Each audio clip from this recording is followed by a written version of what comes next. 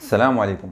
الاشتقاق وتطبيقاته هو درس من دروس البكالوريا جاء من بعد الاتصال وهو كيندرج في دراسة الدوال بالنسبة للفقرة ديال اليوم نخدموا قابلية الاشتقاق في نقطة ثم قابلية الاشتقاق على اليمين وعلى اليسار في نقطة وبعض التأويلات الهندسية لهذا الاشتقاق.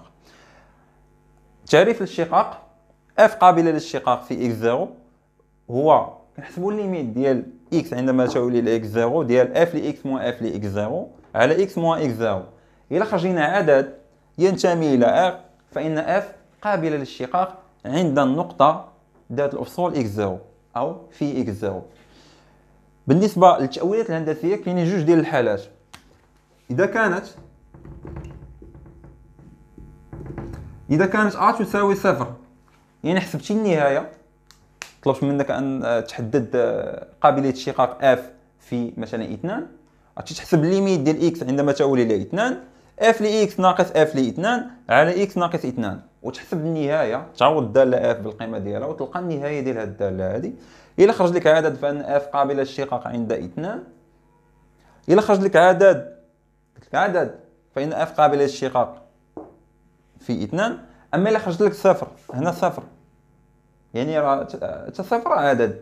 يعني اف قابل للاشتقاق عند اثنان و التأويل الهندسي هو أن السقف يقبل مماس أفقي. يعني إلى خرج لك هذا العدد هذا إلى كان صفر فإن السقف يقبل مماس أفقي. أما إذا كان يخالف صفر فإن السقف يقبل مماس مائل وكنحددوا المعادلة ديال هذا. المماس بحال مثلا دابا إذا كانت أ تساوي صفر فإن C f يقبل مماس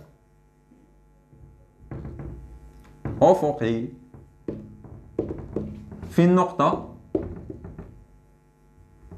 عادة كنقولوا النقطة ذات الأفصول x zéro.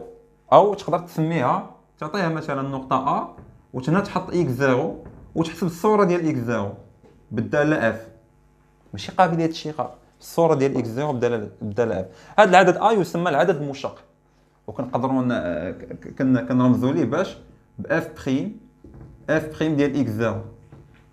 كيتسمى العدد المشتق بالنسبة للحالة الثانية إذا كانت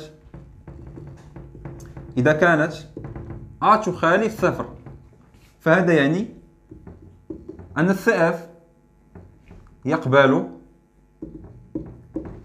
مماس مائل. كذلك في النقطة يا اما تقول في النقطة ذات الأفصول x zéro أو في النقطة تسميها في النقطة كذلك أ سميناها أ في هذه الحالة. للأفصول ديالها x zéro والأرتوب ديالها f ل x zéro. المماس المائل دائما كيكون المماس الأفقي كيكون بهذا الشكل هذا.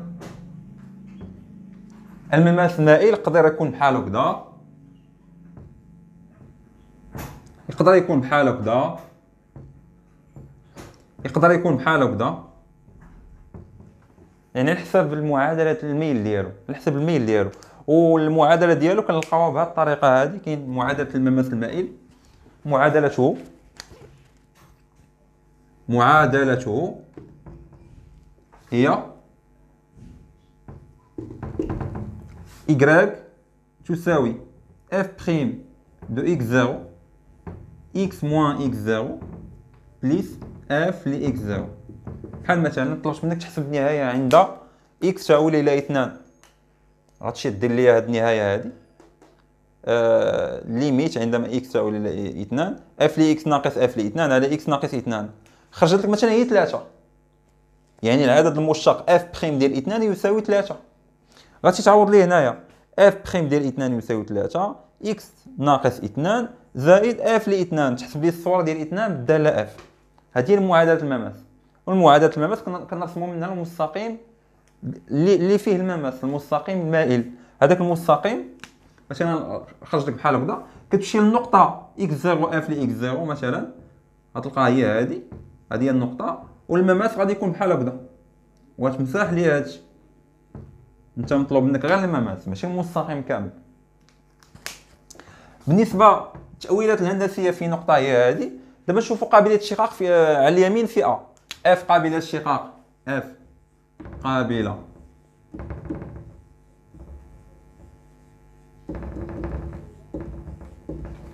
على اليمين. في x zéro يعني أن limite عندما x تساوي x zéro. على اليمين يعني x zéro. x أكبر من x zéro. غنحسبوا النهاية ديال f ل x ناقص f ل x zéro. بحالو التعريف هو التعريف. غير هنايا على اليمين. هنا شنو يخرج لينا؟ f prime droite de x. يعني كيخرج لينا عدد. إلا خرج لينا عدد فإن f قابلة للاشتقاق على اليمين. كذلك f قابلة للاشتقاق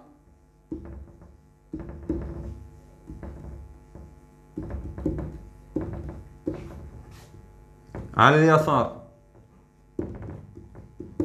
في x 0 يعني ال limite عندما x تساوي إلى x 0 x أصغر من x 0 ديال f ل x moins f ل x 0 على x moins x 0 يساوي f prime gauche de x هذه قابلية الاشتقاق على اليسار قابلية الاشتقاق على اليمين.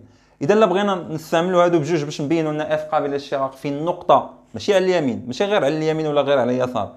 في النقطة x0 كيف ما هذيك الأولى فخاصنا إذا كان هذه خاصية إذا كان f prime droite de x يساوي f prime gauche de x فإن f قابلة. ماشي غير على اليسار ولا على اليمين قابلة للاشتقاق.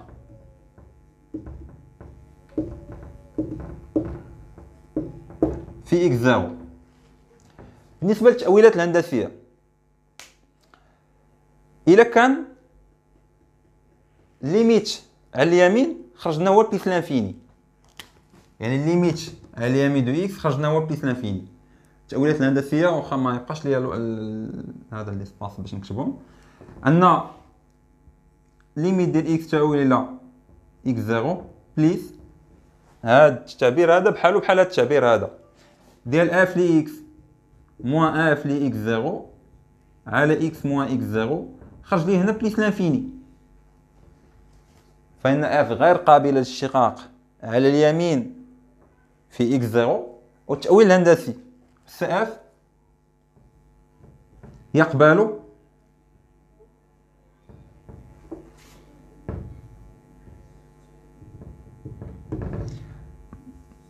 لأنه غير على اليمين نفس مماس ماشي مماس كامل؟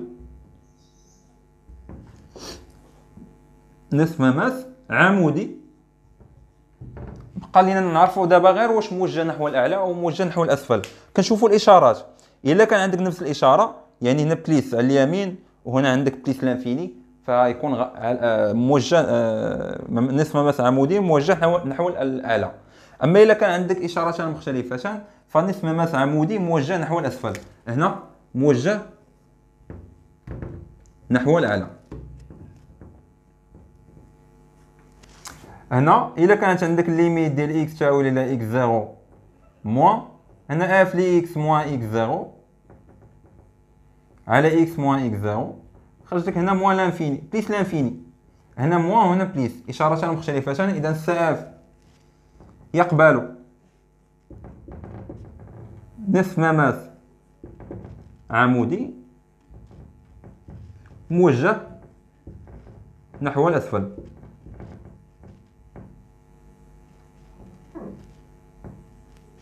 إذا باينة إلا كان عندك إشارات بحال بحال يعني على اليمين ديما اليمين عارفة هي plus على اليسار هي مو إلا كان عندك إشارة بحال بحال يعني ال plus l'infini مع ال plus هي هي فهو موجه نحو الأعلى. أما إلا كانوا مختلفين فموجه نحو الأسفل. بحال مثلا هنا إلا كانت plus وهنا moins موجه نحو الأسفل موا موا موجه نحو الاعلى هذا فيما يخص آه، التاويل الهندسي ديال قابلية الاشتقاق على اليمين وعلى اليسار. مازال لينا إلى مازال آخر آخر وحدة هي هي ال limite عندما يعني قابلية الاشتقاق في نقطة x zéro هنا خرج لك plus l'infini أو moins l'infini. فهنا عندك مماس كامل. إن هنا نصف مماس علاش؟ لأن هنا عندنا غير على اليمين. ولا غير على اليسار إذا ديما نصف مماس في هذه الحالة هذه أما فاش كنكون كنحسب في النقطة x zéro يعني في النقطة ككل فهنا كيكون عندك مماس كامل.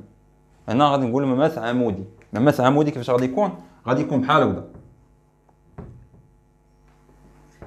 أما على اليمين لقيناها موجهه نحو الأعلى غناخذوا غير هاد البارتي. موجهه نحو الأسفل غناخذوا غير هادي. ودائما في النقطة في النقطة أ. ا اللي كندوي عليها هي هذيك. وهنا كذلك في النقطة في النقطة أ. اذا التاويل الهندسي كاينين ثلاثة ديال الحالات. بالنسبة قابليه الشقاق في نقطة إلا خرج لنا عدد فإن هذاك العدد إلا كان أ يساوي صفر مماس افقي في النقطة أ. يخالف صفر مماس مائل والمعادلة ديالو هي هذه إلا طلبوا طلبوها منكم من منك تكتبها ما طلبوهاش منك ما تكتبهاش. مماس مائل في النقطة ا إلا كانت مطلوبة نكتبوها ما كانتش مطلوبة ما نكتبوهاش دائما كتكون هي السؤال حدد معادلة المماس آه، في النقطة ذات الأفصول مثلا ثلاثة. كتجي تحسب قابلية الشقاق عند ثلاثة. كتلقى عدد هذاك العدد هو العدد المشق و- وكتستنتج باللي بما أن خرج لك عدد يخالف صفر اذا فإن المنحنى Cf يقبل مماس مائل والمعادلة ديالو هي هذه. إلا طلبوا منك تكتبها. بالنسبة قابلية الاشتقاق على اليمين وعلى اليسار f قابلية الاشتقاق على اليمين إلا كانت خرج لك عدد يعني هذا العدد ينتمي إلى R كذلك هنا العدد ينتمي إلى وهذا العدد كيتسمى العدد المشتق هنا f قابلة للاشتقاق على اليمين f يعني يعني هنا limite هي f prime droite. وهنا f prime gauche. إلا كانوا متساويين فالدالة f قابلة للاشتقاق في النقطة ككل. عندنا إلا كانوا إلا كانوا مختلفين. هذه في الحالة قابلة للاشتقاق. أما إلا كانوا مختلفين فإن f غير قابلة للاشتقاق. وهذه النقطة هذه كتسمى يعني الدالة f تقبل نقطة مزواة في هذه النقطة هذه. علاش؟ لأن إلا كانوا هادو مختلفين. هذا ثلاثة وهذا جوج. يعني كل كل نصف مماس عنده ميل. يعني نصف مماس غادي يكون بحال هكذا ونصف مماس يكون بحال هكذا. يعني الداله كتقبلها كتقبل عند هذه النقطة هذه. نقطة ميزوات كتسمى نقطة ميزوات تقدر تكون الدالة دايره بحال هكذا. هاد هاد هاد الشكل هذا كنسميوه نقطة ميزوات وبالنسبة لكان عندنا غير قابله للشقاق على اليمين وغير قابله للشقاق على اليسار. ف إلى إلى كان عندهم نفس الإشارة كنقولوا نصف مماس عمودي موجه نحو الاعلى في النقطه أ. هنا نصف مماس عمودي موجه نحو الأسفل في النقطه أ. كتبوا هذا الملخص هذا باش نبداو في الأمثلة اللي عندنا وهنا بعض الأمثلة باش نفهموا هذه قابلية الاشتقاق. بالنسبة للتمرين الأول عندنا الدالة f هي عبارة عن حدودية ودرس قابلية الاشتقاق الدالة f في واحد. فين ما تسمع قابلية الاشتقاق نحطوا التعريف. نحسبوا ال limite اولا. غنحسبوا ال limite. عندما x تؤول لاش. تؤول النقطة اللي بغاو نحسبوا فيها قابلية الاشتقاق. يعني واحد. عندما x تؤول إلى واحد هنا كتحط f ل x دائما. تحت منها x ناقص ناقص العدد واحد. أما هنا كتنقص منه الصورة ديال العدد واحد. كتحسب هاد هاد هاد هاد النهاية هادي. إلا خرج لك عدد فان الدالة f قابلة للاشتقاق فهاد في واحد في هذا العدد هذا. أما إلا خرجت لك plus l'infini فان الدالة f غير قابلة للاشتقاق في العدد واحد. نعوض الداله اف بالقيمة ديالها. limite ديال إكس تؤول إلى واحد. الداله اف إكس ثلاثة ناقص واحد على إكس ناقص واحد. نحسبوا اف لواحد اف لواحد هي واحد أس ثلاثة ناقص واحد. هي صفر. اذا هاد اف لواحد تحسبها تلقاها صفر. اذا ما كاين لاش نديروها. غتبقى لنا غير إكس. أس ثلاثة ناقص واحد على إكس ناقص واحد. حتى هادي مشات بصفر. غادي تحسبوها تلقاوها صفر. غتبقى لك اف لي إكس تعوضها بالقيمة ديالها وغتبقى لك لتحت إكس ناقص واحد. وهذه متطابقة هامة limite ديال إكس تؤول إلى واحد. هي إكس ناقص واحد. عامل لي x au carré. زائد إكس زائد واحد. الكل على إكس ناقص واحد. هنا عندنا اختزال. إذا اختزلنا بهادي بهادي غتبقى ليا limite ديال إكس تؤول إلى واحد. ديال x au carré. زائد إكس زائد واحد. وهذه كتساوي لي ثلاثة. اذا بما أنني خرج لي عدد عدد ينتمي إلى R هذا هو العدد المشتق ديال واحد. يعني وبالتالي اف قابلة للاشتقاق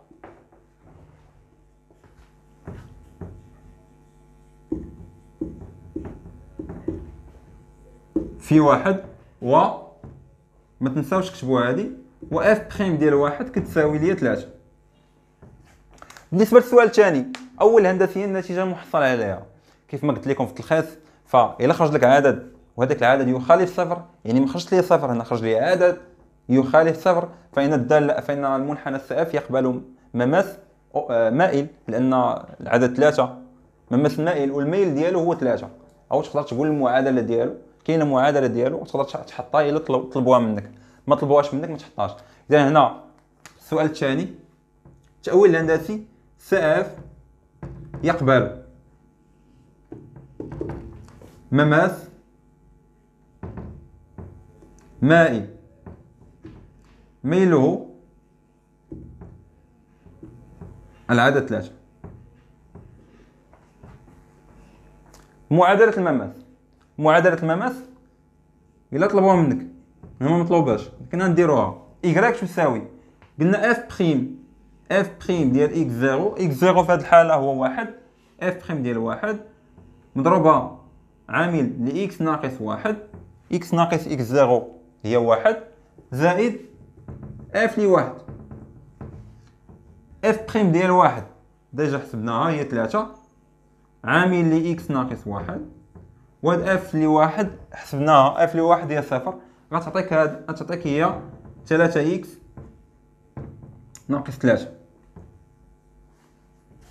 يعني المعادلة ديال المستقيم معادلة المماس هي هادي.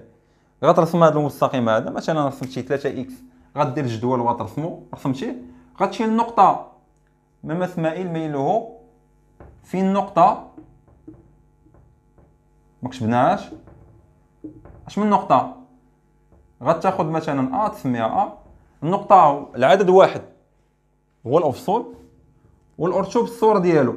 الصورة ديال واحد هي صفر. اذا هذا هو التأويل الهندسي Cf يقبل مماس مائل ميله العدد ثلاثة.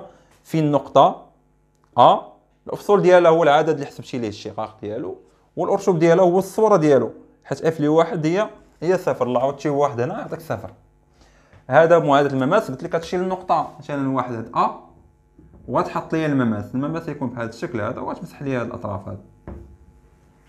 بالنسبة للتمرين الثاني الداله عندنا هي دالة حدودية. اف إكس تساوي إكس اس 2 ناقص 4 إكس زائد 1 ادرس قابلية اشتقاق الداله اف في 2 إذا دائما قابلية الاشتقاق حط التعريف limite عندما إكس تؤول إلى 2 اف لاكس ناقص اف ل 2 على إكس ناقص 2 أو أول حاجة قبل ما قبل ما نبدأ نحسب النهاية أول حاجة ندير هي نحسب صورة العدد اثنان. صورة العدد اثنان اف ل اثنان تساوي أربعة ناقص ثمانية زائد واحد. غتعطيني هي ناقص ثلاثة. يعني اف ل اف ل اثنان هي ناقص ثلاثة نكتبها الفوق باش نحيدها من هنا. اف ل اثنان تساوي ناقص ثلاثة. دابا نعوض الدالة اف بالقيمة ديالها. تساوي limite عندما إكس تؤول إلى 2 دالة اف هي إكس اس 2 ناقص 4 إكس زائد 1 ناقص 3 ناقص ناقص 3 تعطيني زائد 3 اللي كيقول منين جات هاد الزائد؟ حيت هنا عندنا ناقص. ناقص اف ل 2 ناقص مع هاد ناقص تولي زائد 3 الكل على إكس ناقص 2 ودابا نحسب الفوق تساوي ال limite عندما إكس تؤول إلى 2 إكس أس إثنان ناقص أربعة إكس زائد أربعة. الكل على إكس ناقص إثنان. وهذه متطابقة هامة. غتعطيني هي ال limite عندما إكس تؤول إلى اثنان إكس ناقص اثنان الكل أس اثنان على إكس ناقص اثنان. وهذه غنختازلو عندنا إكس ناقص اثنان مضروبة في إكس ناقص اثنان وحدة منهم غتمشي مع التحتانية وغتبقى لي وحدة. غتبقى لي إكس ناقص اثنان ونعوض دابا باثنان غتعطيني جوج ناقص جوج هي صفر. بما أن خرج لي عدد وهذاك العدد يساوي صفر. أول حاجة قبل قبل قبل من التاويل الهندسي غنقول باللي اف إذا f قابلة. قابلة للاشتقاق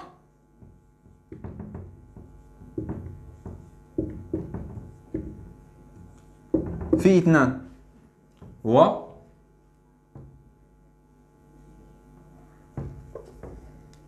و f prime يعني العدد المشتق في العدد إثنان يعني f prime de deux est égal à zéro.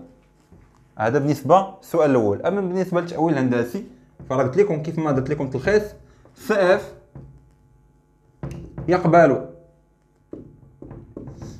مماس أفقي مماس أفقي في النقطة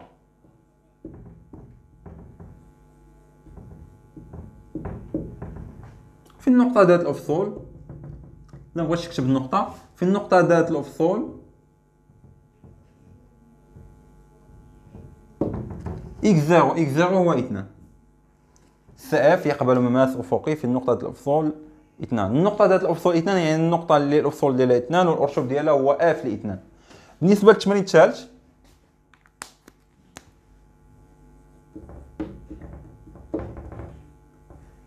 كذلك هو ادرس قابلية اشتقاق f على اليمين ما طلبش منك قابلية اشتقاق الدالة آه، f في ثلاثة. قابلية اشتقاق على اليمين في العدد ثلاثة. إذا حنا دائما التعريف. limite.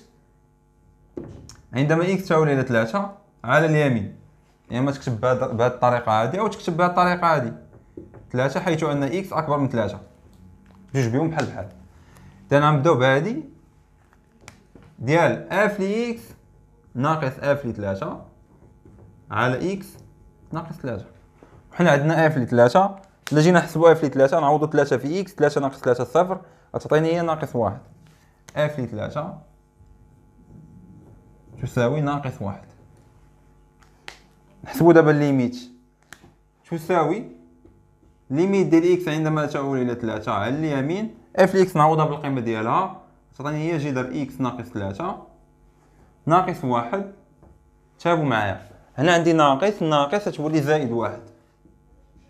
الكل على x ناقص ثلاثة. تساوي limite ديال x تؤول إلى ثلاثة على اليمين جذر x ناقص ثلاثة على x ناقص ثلاثة.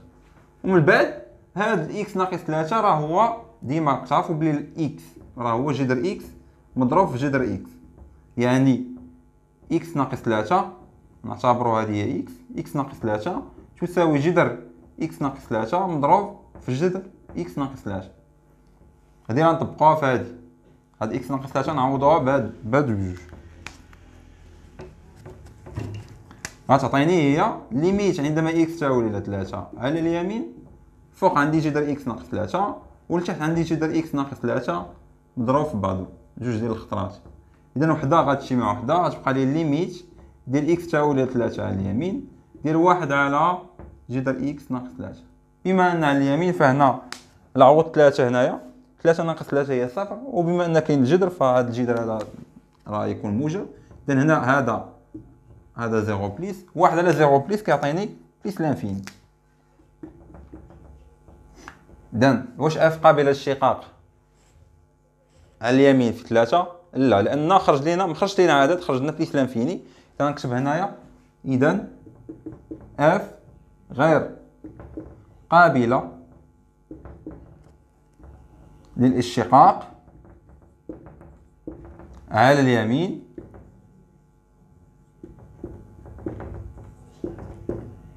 في ثلاثة. إذا كانت اف غير قابلة للاشتقاق على اليمين في ثلاثة فهي أكيد غير قابلة للاشتقاق في العدد ثلاثة. وبالتالي اف غير قابلة للاشتقاق في ثلاثة. إلا ما كانتش قابلة للاشتقاق على اليمين حيت قابلة للاشتقاق في نقطة. خاص تكون قابلة للاشتقاق على اليمين وعلى اليسار ثم العدد المشتق على اليمين يكون يساوي العدد المشتق على اليسار. إما هنا غير قابله للاشتقاق على اليمين وبالتالي فهي غير قابله للاشتقاق في النقطة ذات أصول ثلاثة. أما التأويل الهندسي ساف كيف ما قلت لكم إذا كان عندهم نفس الإشارة بما أن هنا بليس هنا بليس نفس الإشارة فهو ساف يقبل نصف مماس لأن على اليمين نصف مماس عمودي وموجه نحو الاعلى لأن لهما نفس الإشارة. صافي قبالو نصف مماس. هذا الجواب ديال السؤال الثاني. نصف مماس عمودي في نقطة